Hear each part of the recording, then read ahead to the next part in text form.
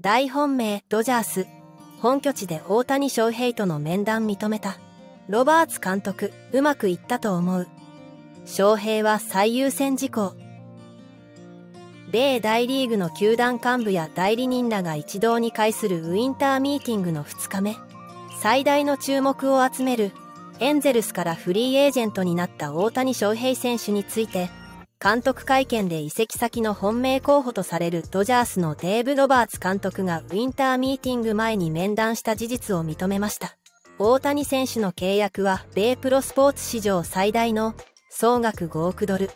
約735億円超えは確実と言われておりここまでドジャースのほか古巣のエンゼルスジャイアンツブルージェイズなど複数の球団が契約候補に上がっています。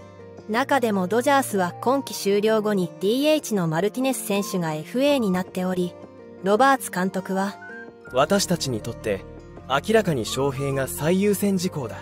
と獲得の重要性を強調。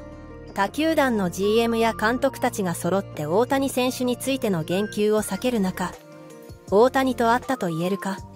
との問いにそれについて言えるかってまあ可能性はあるだろうねそうだね。あったよ。正直に言うけど彼に会って話をした。いいミーティングだった。でも最終的には彼がどこでプレーするのがいいのか彼が決めることだ。と大谷選手と実際に会って話をしたことを暴露したのです。面談にはドジャースの選手らは参加せず関係者のみで2時間から3時間ほど行われたといいます。会話については特別な何かはないまずはお互いを知ろうと。彼はいろいろ質問がありチームの考え方など全体像を知りたかったみたいだ。でも彼もメジャーに6年いるからドジャースがどんなチームか分かっていると思う。ロサンゼルス近郊の街のことなんかも彼との時間は楽しかった。と明かしうまくいったと思うと手応えを感じたようでした。ドジャースは大谷選手が米朝鮮を目指した2017年オフにも面談を行ったという経緯がありますが。2017年はどちらかというと全体を見渡すような会話だった。この国町球団のことそして役割など彼が知らなかったことを売りに交渉した。と振り返ったロバーツ監督。あれから6年。大谷選手はエンゼルスで二刀流で一躍スターとなりました。同監督は？この状況で彼の代弁をするわけではないけどチームという観点で見れば彼の希望は当時と比べてより絞られている。と語り獲得の自信について問われると彼はポーカーフェイスだった。胸の内では笑っていたかもしれないけど少なくとも彼といい時間を過ごせて楽しかった。みんなそうだった。でもいい感じだと思う。でも彼は自分の考えを持っている人だからそのことを私たちはリスペクトしたいね。と決断を尊重すると明かしました。まさかの暴露で周囲を驚かせたロバーツ監督ですが大谷選手との面会を打ち明けた理由について。別に嘘はつきたくないし聞かれたことに正直に状況を伝えたまでだ。これまで明かしていなかったけどいずれわかる。自分も含めて組織の誰も嘘をつきたいとは思っていない。もちろんプライバシーも大切だ。ゲームマンシップということではないけれどまともな質問を受けてそのことを知っていて嘘をつくことは難しい。だからこそ翔平に対して失礼なことではないと考える。詳細までは語れないけど彼の獲得が優先事項なことは明らかなので。と最後まで正直な気持ちを吐露していました。ロバーツ監督の衝撃の暴露にネット上では10年前18歳の時からドジャースに行きたかった大谷選手。当時は日ハムに入ったけど数年後に晴れてメジャーエンゼルスに行きようやくここへ来てドジャースとの距離がぐっと縮まった。むしろ向こうも望んでる。怪我とか二刀流とかの状況はあるけどここで逃す手はないでしょう。オファーのあった全ての球団をしっかり自分の目と耳で確認している段階なんでしょうね。ここまでロバーツがはっきり言うというのは自信の表れでしょう。ロバーツ監督にはあまり良い印象がないが今候補とされている球団の中ではやはりドジャースが一番大谷の希望に適しているのではないだろうか。これでドジャースを選ばなかったらどうなるのやらとも思いますがあえて喋ったのならいいけども少し心配です。ロバーツ監督はマイケンのことで日本のファンにはあまりいい印象を持たれてないから大谷が今後成績が伸び悩んだ時二刀流がうまくいかなかった時の扱いも少し心配ではあります。何はともあれワクワクしかないです。どのチームを選択しても大谷選手が決めたこと引き続き応援させていただきます。など多くのコメントが上がっていました。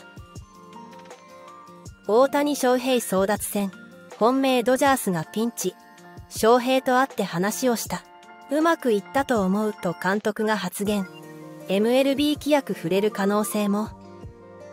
このように衝撃の暴露をしたドジャースのロバーツ監督ですがあまりにも唐突な告白ということもありアメリカでは多くの波紋を呼んでいるようです。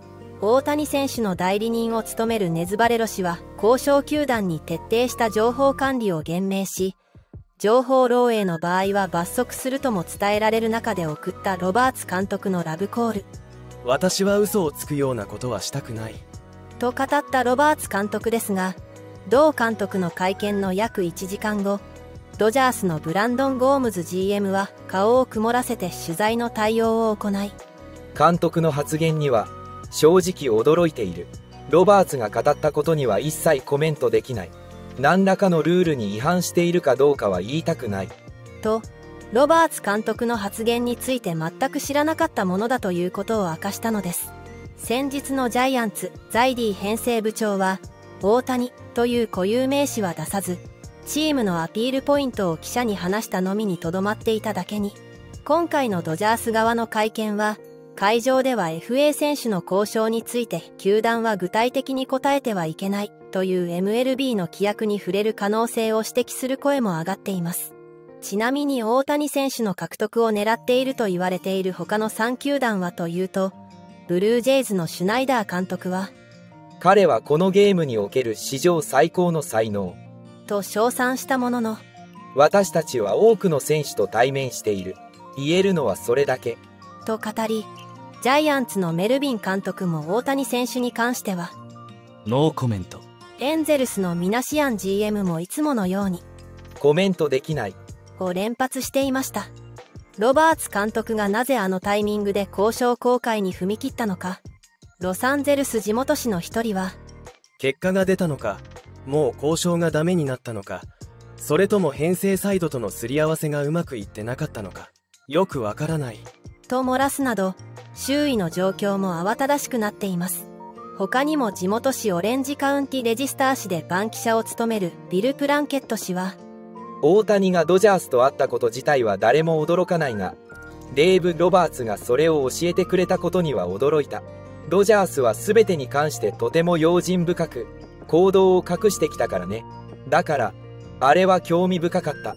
メディアを騒然とさせたロバーツの乱でドジャースの獲得確率は低くなったのか。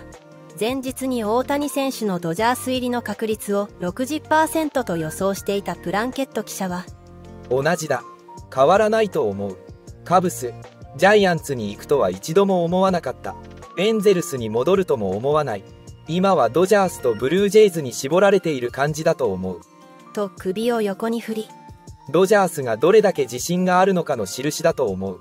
それだけ自信があるのだいい感じだと思う。でも彼は自分の考えを持っている人だから。そのことを私たちはリスペクトしたい。とあくまで今回のロバーツ監督の発言によって大谷選手の動向が大きく変わる可能性は低いことを語りました。ロバーツ監督の発言はリーグ規約に反するのかバレロ代理人は情報を明かしたことをどう捉えるのか。ネット上では。今更リークされたのでこの球団には行きませんとは実際考えられないんだけどあれだけリークはダメと大谷陣営が言ってたにもかかわらずここに来て監督が急にペラペラしたのは何かあるのかな。金額などのオファー内容や FA 選手にマイナスになるようなプライベートなことを言うのは良くないそうだがあったと言っただけでロバーツ監督はあとは大谷を絶賛してただけだからこれが大きな変化につながるとは考えにくいのでは。